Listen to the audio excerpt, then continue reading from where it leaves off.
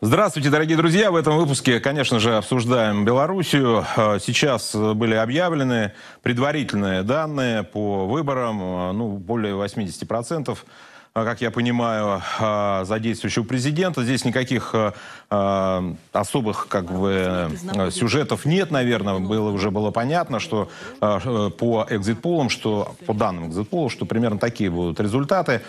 Безусловно, вы, наверное, знаете то, что происходило в Минске. Напомню, были столкновения с полицией. Э, милиции э, белорусской, э, граждан, которые вышли, не все, конечно, но те, тем не менее некоторые пытались там строить какие-то якобы баррикады, но такие а, а, официальных данных таких нет, но тем не менее вот некоторые соцсети такие вещи сообщают. То есть достаточно бурно были подведены итоги вчера накануне, мы вот эти все кадры вы видели, но на самом деле вот если честно смотреть на это очень больно и неприятно, потому как мы видим, что политический э, кризис или процессы э, у братской страны э, выглядят крайне неприятно. С одной стороны, та часть граждан Беларуси, которая недовольна текущей ситуацией, она, а, видимо, вышла зафиксировать свою позицию. А, с другой стороны, вызывает вопросы, почему сейчас это именно происходит, а не предыдущие выборы, например, а, и так далее. Ну, мы сейчас об этом с нашими гостями поговорим. И самый главный вопрос, во-первых, почему так произошло, то, что произошло, происходит сейчас в Беларуси, и самое главное, каковы последствия вот этого политического кризиса, по-другому, наверное, сложно все-таки назвать, то, что там сейчас сейчас происходит а, для а, наших соседей. И еще раз повторю, а, для нас Беларусь и белорусский народ – это братский народ, мы очень тесно переплетены, наши судьбы, и поэтому нам не все равно, что там происходит. Безусловно, мы хотели бы, чтобы граждане Беларуси сами, соответственно, решали свою судьбу, но мы, возможно, своими рассуждениями как-то поможем сориентироваться в происходящем. Потому как, еще два слова буквально скажу, прежде чем перейти к гостям – потому как то, что сейчас происходит в Беларуси, это часть тех глобальных процессов, которые происходят в мире. А, и, к сожалению, эти процессы только начинаются и, похоже, будут развиваться дальше. Вопрос, как с ними справятся а, люди, народ, власть и так далее. Это очень серьезная тема. Итак, у нас на связи Вячеслав Матузов. Вячеслав Николаевич, здравствуйте. Здравствуйте, добрый день. А, добрый как день. вы оцениваете то, что происходит в Беларуси? А, может быть, вы слышали, да, мою вступительную речь. А, согласны да. ли вы с оценкой то, что я сказал, или у вас совершенно другой взгляд на происходящее событие? Нет, я, Саша, я абсолютно согласен с выводом о том, что мы живем э, во взаимодействующем мире, и обстановка в мире, где там с чем сталкивается Дональд Трамп в Америке, с чем сталкиваются там Башар Асад в Сирии или сторонники Муаммара Каддафи в Ливии, и чем сталкивается французский президент Ангела Меркель, все эти э, события, они взаимосвязаны – Мир сегодня очень трудно разделить. Я долгие годы занимался анализом ситуации, как готовилась арабская весна. То есть это не весна, это не такое народное движение. Народ вывели на улицы. И весь механизм, как это готовилось, пять лет – с 2005 по 2000, декабрь 2010 года. Я неоднократно, в том числе по России-24, выкладывал документы, пакет документов – которые свидетельствуют. Американцы, они секреты особенно не, не соблюдают секретность, режим секретности. Они выплескиваются. И я собрал эти материалы. Как платили деньги, как готовили э, руководители отдельных групп оппозиции, не боевиков, как они э, обучали на протяжении пяти лет. И э, в определенный час началось как падение этих костяшек домино э, по очереди. Э, Тунис, Ливия, Египет, Сирия и так далее. Поэтому, когда я сейчас смотрю на то, что происходит в Беларуси, Белоруссии, для меня она Беларуси остается, я скажу, что это, э, в общем-то, я вкладывает в тот э, режим, в тот э, формат, который я наблюдал на Ближнем Востоке. Один к одному – я не исключаю, что многие люди, которые сейчас из оппозиции вышли на улицы, там готовы как-то выразить в той или иной э, форме свое несогласие с итогами голосования. конечном итоге есть и честные люди, которые просто столкнулись с реалиями сегодняшней жизни. Жизнь сегодня тяжелая не только в Беларуси, и в России, и э, в Америке, и во Франции, и везде. Я уже не говорю про тот бедный Ливан, который взорвали полгорода. Кто взорвал, до сих пор непонятно. Для чего взорвал, тоже непонятно. Хотя э, уже идут, так сказать, захваты госучреждений, вместо того, чтобы разбирать завалы и спасать выживших или доставать э, э тела э, мертвых. Все это говорит о том, что наш мир живет в условиях крайне турбулентных. И это, э, безусловно, главная задача – выдержать это вот давление. И это я бы хотел обратиться и к, э, к нашим братьям белорусским, чтобы понимали, что то, что делается в Беларуси, это не просто белорусское дело, это часть мировой глобальной ситуации, в которой участвуют силы не только белорусские – Взять хотя бы ту же провокацию с 33 этих сам богатыря и их дядька Черномор, которые э, вылезли туда Э, накануне выборов. Я, представляю... я знаете, Жень Николаевич, я улыбаюсь, потому что сейчас этот мем «33 богатыря» уже так устоялся. А, ну, там просто обычные наши э, граждане... Ну, я может, понимаю, не, богатыри, Необычные, но... может быть, в том смысле, что их специфика их занятий, частная охрана и так далее.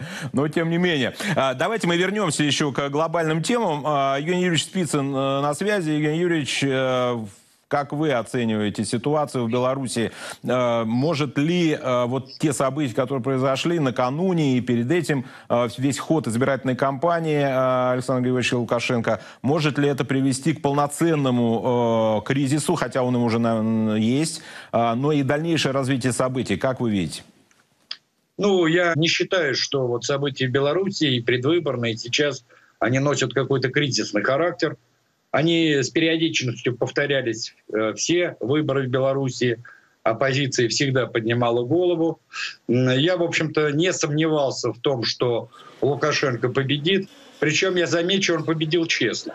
Может быть, ему нарисовали какой-то процент голосов, но я вас уверяю, что это незначительный процент голосов, потому что значительная часть э, граждан Беларуси, которые голосуют, они хотят стабильности, их вполне устраивает Лукашенко. Почему? А потому что они не видят реальной замены Лукашенко. И здесь виновата сама оппозиция. Почему? Первое. У них все время оппозиция связана исключительно с представителями так называемого прозападного либерального лагеря, который имеет поддержку максимум там 10-12% населения, и поэтому они никогда не смогут законным путем получить власть. У меня другой возникает вопрос, а где коммунистическая позиция? И вот когда граждане Беларуси не видят реальной альтернативы Лукашенко, то они, пускай даже и от безысходности, идут и голосуют за него, потому что они не хотят получить вторую Украину.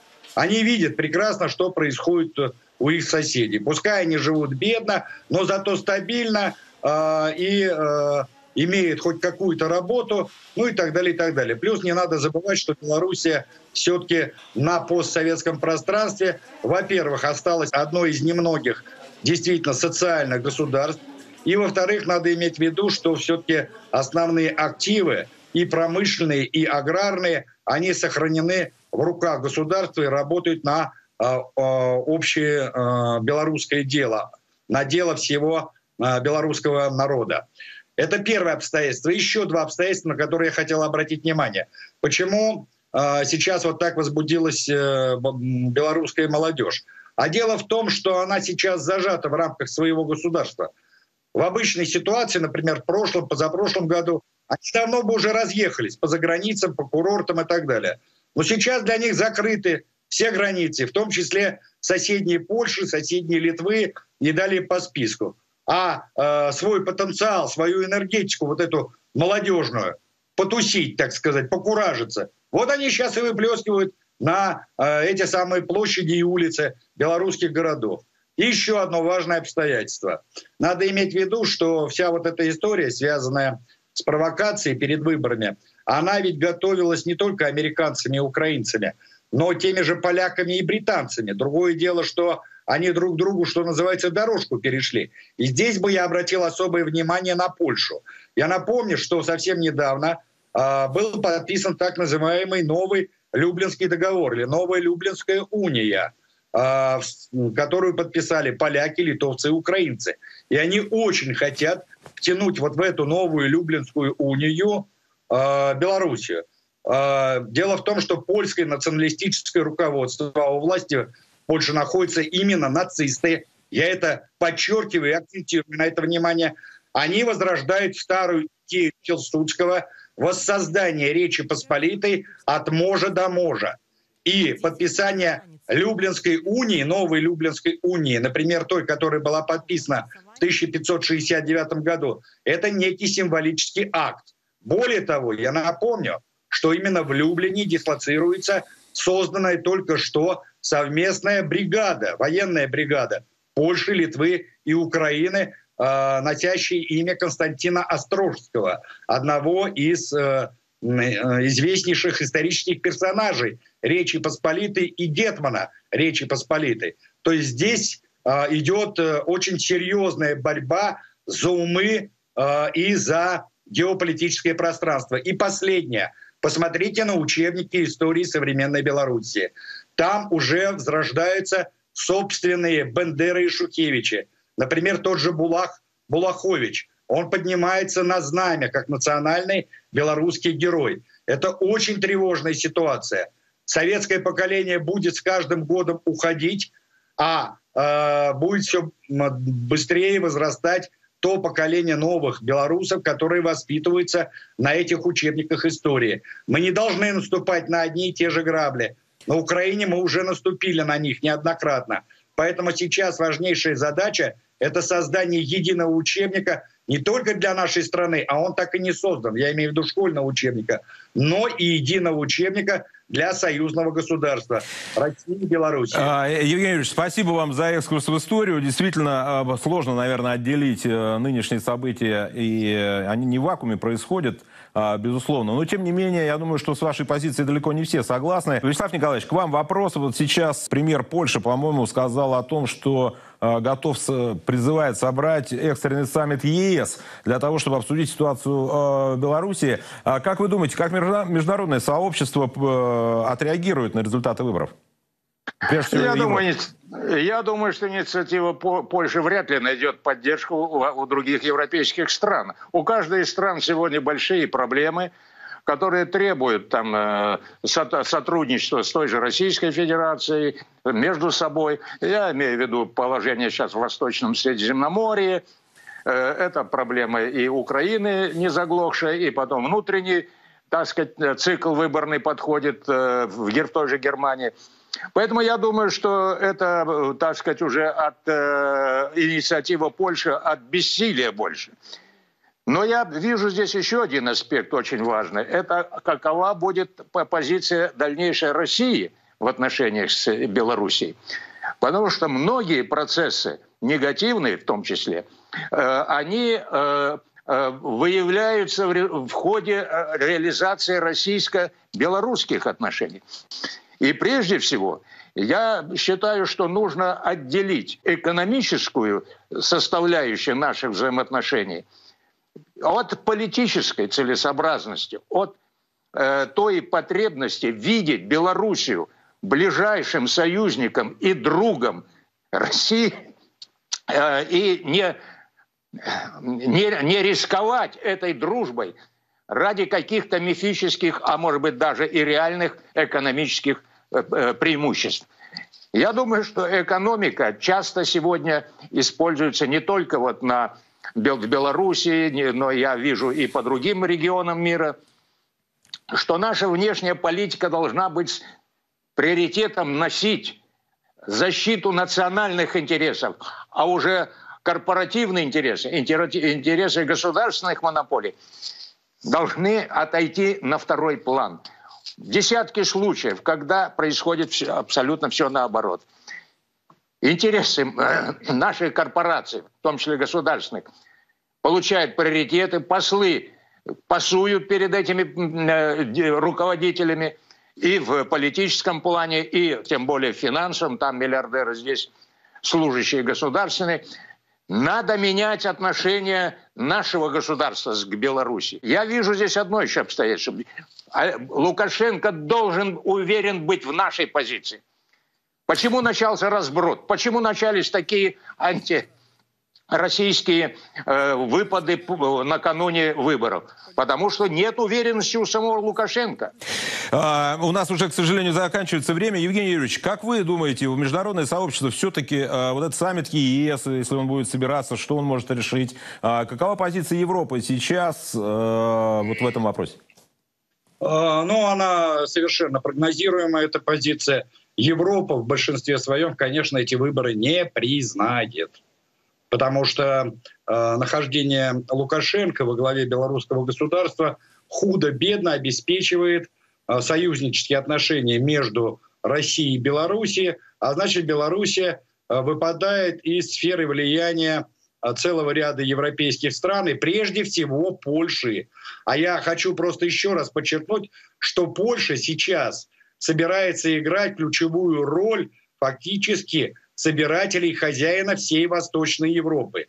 Опираясь на поддержку прежде всего США, противопоставив себя Германии, которая, как мы сейчас видим, является главным конкурентом именно Соединенных Штатов Америки на европейском континенте. И вот здесь возникает большой вопрос и по поводу дальнейшей судьбы ЕС, и по поводу агрессивных планов Польши и польского руководства, и в отношении бывших стран соцлагеря и э, Советского Союза, и в отношении России. Здесь нам надо ухо держать востро. Да, Евгений Юрьевич, спасибо большое. У нас, к сожалению, заканчивается время. Безусловно, события Беларуси э, мы еще будем очень активно обсуждать. Сейчас у нас уже нет для этого времени. Будем надеяться, что белорусский народ сделает правильные выборы и примет правильное решение. Ну, а пока всего доброго. До свидания.